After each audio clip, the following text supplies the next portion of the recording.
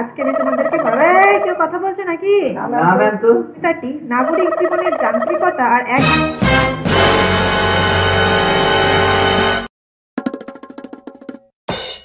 সবাই শোনো তোমাদেরকে একটা করে প্র্যাকটিক্যাল খাতা বানাতে হবে। ওপরে মলাট দেবে আর মলাটের ওপর সবাই নাম লিখবে। বুঝতে পেরেছ তো? হ্যাঁ ঠিক আছে। হ্যাঁ বলো। বলছিলাম যে কিসে লিখব? বা প্র্যাকটিক্যাল একটা খাতা নেবে খাতার ওপরে মলার দিয়ে নামটা লিখবে ঠিক আছে? কোন কালিতে লিখব? তোমার যে কালি ইচ্ছা লাল নীল যেটাতে ইচ্ছা লিখে নেবে।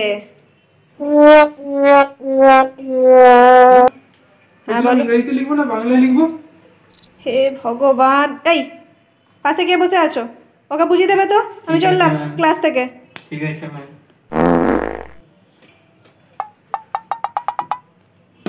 প্র্যাকটিক্যাল কিসের উপর করব? তোকে আমি ঠিক দেখিয়ে দেবো পরে। আমার কাছে তো প্র্যাকটিক্যাল খাতাই নেই। তুই টিউবলাইটই টিউবলাইটই থাকবি কখনো এলইডি হবি না।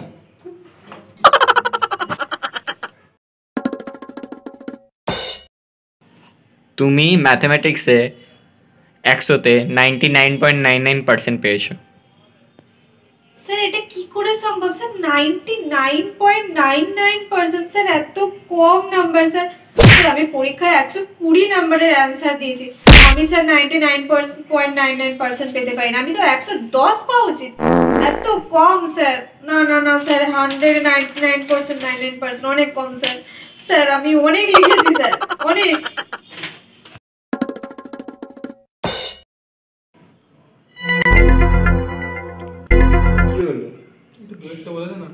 পারিনি রে।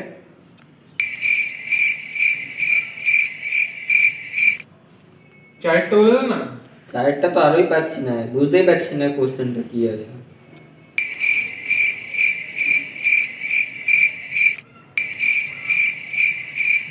দশেরটা তো বলে দে দশেরটা তো পড়েই আসেনি।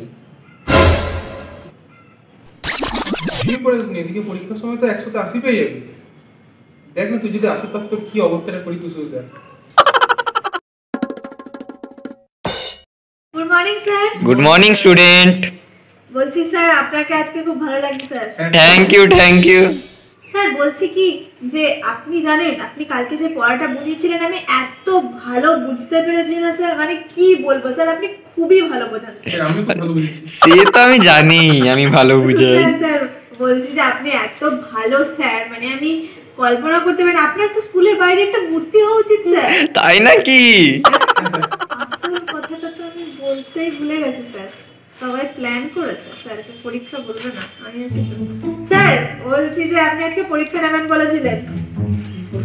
মানা করেছিলাম বলতে স্যারের চামচি পরীক্ষাটা নেবেন তো স্যার? হ্যাঁ হ্যাঁ। এই তোর কাছে ব্লু পেন আছে ব্লু পেন দিবি একটু? এ আমি না বাংলা খাতাটাও আনতে ভুলে গেছি এর পরে বাংলা পিরিয়ড খাতাটা দে না? শোন না বাংলার পরে ম্যাথ ক্লাস আছে না কম্পাসটাও আনতে ভুলে গেছি। Compass compass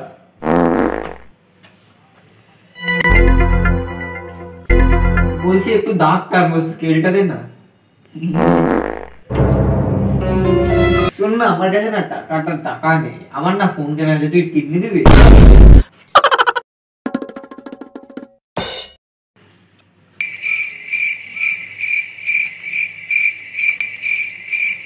Sir extra sheet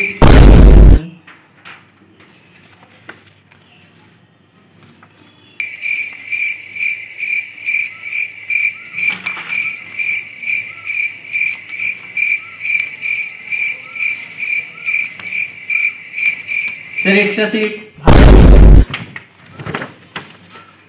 এত এক্সট্রা সিট কি দিচ্ছে আমার তো একটা পাতাই শেষ হলো না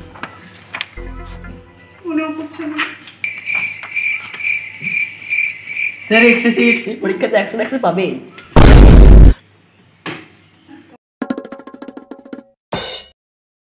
শোনো আজকে আমি তোমাদের যেটা পড়াবো সেটা হচ্ছে মহুয়ার দেশ কবিতাটা সম্পর্কে। আজকে আমি তোমাদেরকে পড়াবো।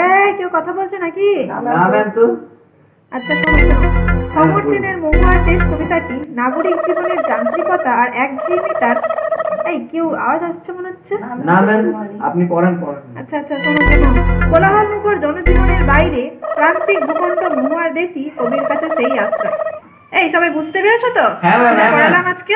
হ্যাঁ হ্যাঁ হ্যাঁ হ্যাঁ ঠিক আছে চলো পড়ে আসবে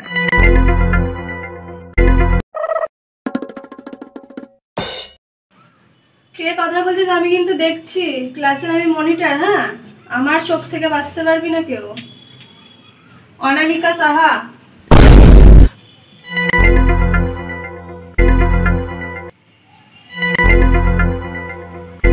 লিখে দিয়েছি। অনামিকা সাহা।